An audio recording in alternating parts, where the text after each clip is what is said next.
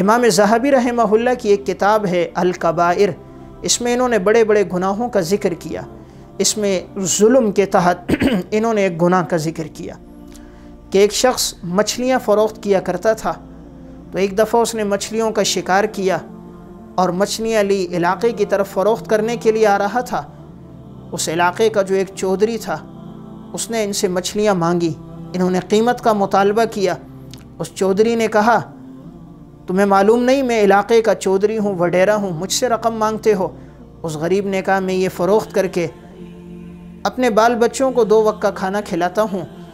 यही मेरा ज़रिए माश है, इसके अलावा और कुछ नहीं। तो उस चौधरी ने कहा, अगर नहीं देते हो, दोबारा मुतालबा किया, गरीब ने मछलियाँ न दी तो ये शख्स ताकतवर था। इसने उस गरीब के मुँह पे दो थप्पड़ मारे और ज़बरदस्ती उससे मछलियाँ ले ली। लेकर जब ये घर गया और मछलियाँ काटने लगा तो एक मछली का कांटा इसके अंगूठे में लग गया। तबीबों के पास इलाज के लिए गया। अब पहले खून रसता रहा, फिर पीप रसना शुरू हो गई। अंगूठे में सोजन भी हो गई। बदबू इतनी ज़्यादा कि कोई करीब ना बैठ सके। उस दौर के तबीबों के पास गया। तबीबों ने इलाज किया, लेकिन कोई इफाक़ा ना हुआ। आखिर ये कहा गया, जब तक अंगूठा नहीं काटा जाएगा, आपको कोई फ़ायदा नहीं होगा। और ये मरज़ आगे भी बढ़ सकता है। इसलिए मशवरा दिया कि अंगूठा काटा जाए, चुनाचे इनका अंगूठा काट दिया गया। चंद दिन गुज़रे, इनके हाथ की हथेलियाँ और उंगलियाँ भी ख़राब हो गईं। अब उससे भी खून और पीप रसना शुरू हो गई, बदबू आना शुरू हो गई। दोबारा तबीबों के पास गया, उन्होंने इलाज मुआलजा किया, कोई फ़ायदा ना हुआ। फिर यही कहा कि हाथ को कलाई से काटना पड़ेगा, वरना ये मर्ज़ आगे बढ़ जाएगा। तो दूसरी मरतबा उसका हाथ कलाई से काटा गया। चंद दिन गुज़रे, तकलीफ़ और बढ़ गई। यहाँ तक कि कोहनी तक सारा हाथ ख़राब हो गया। फिर तबीबों के पास इलाज के लिए गया। इलाज करवाया, कोई फ़ायदा ना हुआ। उन्होंने मशवरा दिया, हाथ को कोहनी से काटना पड़ेगा, वरना ये मरज़ आगे बढ़ जाएगा। तुम्हारा सारा जिसम नाकारा हो जाएगा। तो तीसरी मरतबा हाथ को कोहनी से काटा गया। चंद दिन गुज़रे, फिर ये मरज़ और आगे बढ़ा, कंधे तक हाथ ख़राब हो गया। अब अंदाज़ा कीजिए, ये जो हाथ कटता था, ये बेदारी में। उस दौर में तो बेहोशी के आलात नहीं थे कि बेहोश करके ऑपरेशन किया जाए। अब किसी ज़िंदा आदमी का बेदारी में अगर हाथ काटा जाए, उस पर क्या तकलीफ़ गुज़रती होगी, ये तो वही जानता है। जब चौथी मरतबा वो तबीबों के पास गया, फिर उन्होंने मशवरा दिया कि आपके मरज़ का कोई इलाज नहीं। कहीं ऐसा ना हो ये सारे जिसम में बीमारी सरायत कर जाए, अपने हाथ को कंधे से कटवाओ, चौथी मरतबा यहाँ से कटवाया। अब खून बह रहा था, रास्ते में चीखता चिल्लाता हुआ आ रहा था। एक अल्लाह वाले से मुलाकात हुई, पूछा, भाई, क्या हुआ? कहा, मालूम नहीं, ऐसी बीमारी लग गई। चार दफ़ा आजू कटवा चुका हूँ, लेकिन इफाका नहीं हो रहा। उसने पूछा, ये बीमारी लगी कैसे?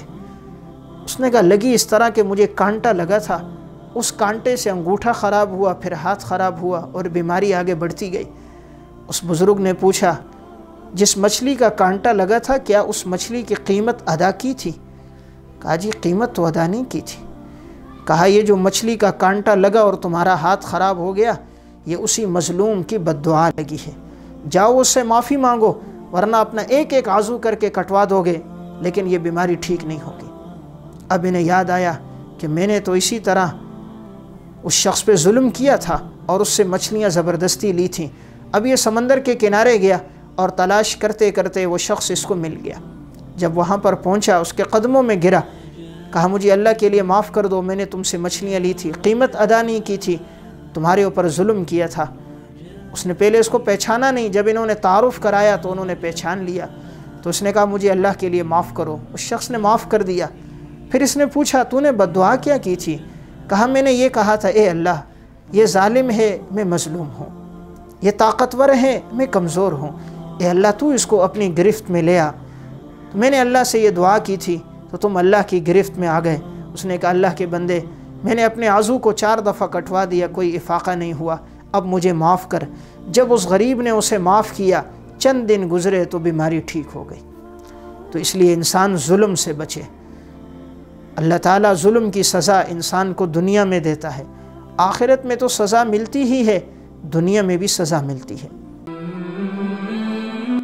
इकराम के न्यू बयान सुनने के लिए आप हमारे फेसबुक पेज को लाइक करें। और हमारे यूट्यूब चैनल को सब्सक्राइब करके बेल आइकन पर क्लिक कीजिए। अपनी नेक दुआओं और तमन्नाओं में इदारा साद नशरियात को याद रखें। शुक्रिया। उलमाए हक की आवाज़ सात नशरियात।